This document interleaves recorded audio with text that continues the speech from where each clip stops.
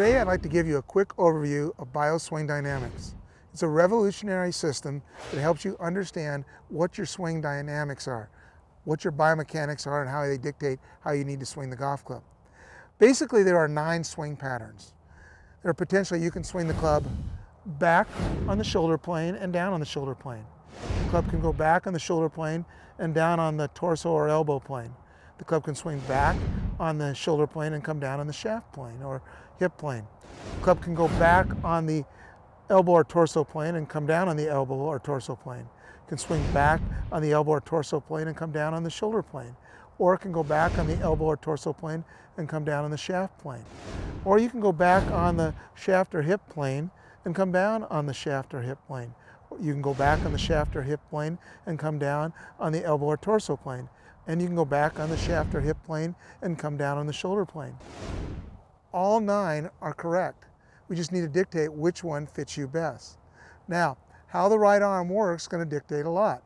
The right hand can be on top, it can be on the side, or it can be under, and it can be anywhere in between.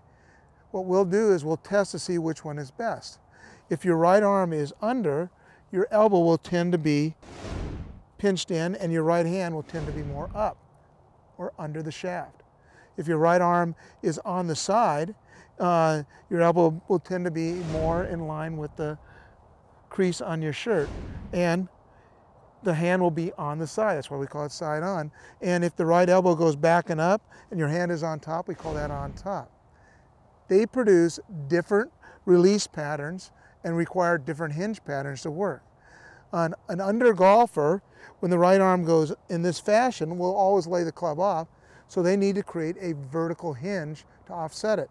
So if I had an under, under right arm position going back, I would need to hinge the club up vertically. And what that would do would, when I swing the club back, it would perfectly plane the golf club. Where the opposite end of the spectrum is an on-top golfer. An on-top golfer, the club tends to want to go across the line. So they need to have a diagonal hinge. A diagonal hinge is where the club hinges towards the right shoulder.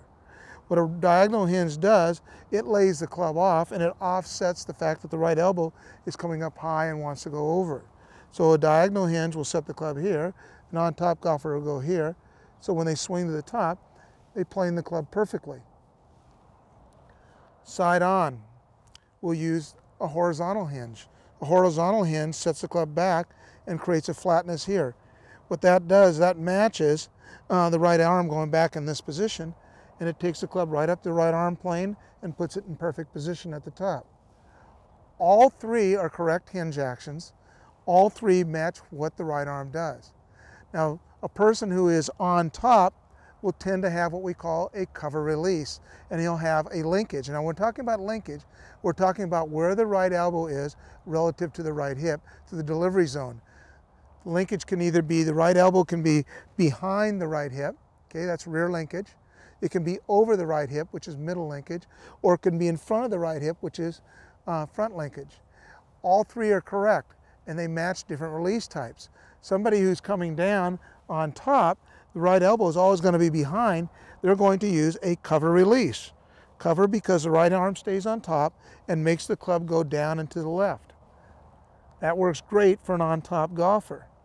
Somebody who is an under golfer who uses a vertical hinge, they're going to have front linkage where the elbow gets ahead, the upper body stays back, and they use an extension release where everything is extending out and it's the rotation that pulls the club around. The side-on golfer uses a horizontal hinge and they use a cornering release. Their linkage is going to be center. So when they come down, the right elbow goes right into the right hip and the club, the right hand extends to flat and lets the club turn the corner.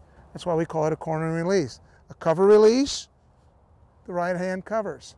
A cornering release, the right hand flattens and the club turns a corner. An extension release is the arms extend out. All are correct, you just need to match the components. So what we're going to do is we're going to take you through a simple set of tests that's going to determine what your biomechanics are and find your golf swing.